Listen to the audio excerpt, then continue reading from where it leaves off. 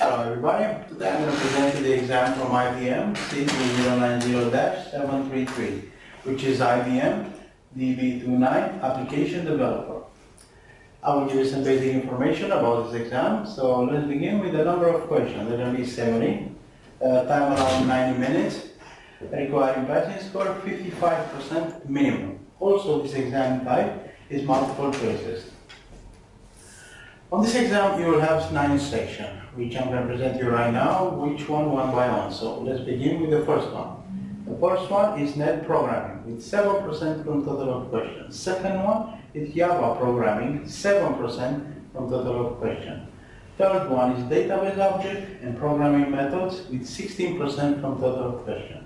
After that, we're going to have data manipulation, 26% from total of questions following by XML data manipulation, 10% on total operation. Next, Embedded SQL programming with 4% on total operation. After that, we have ODBC slash CLI programming, 4% from total operation.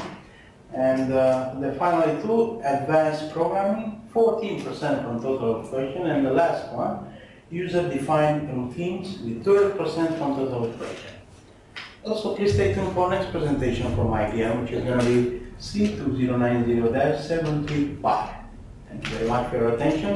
I wish you good luck.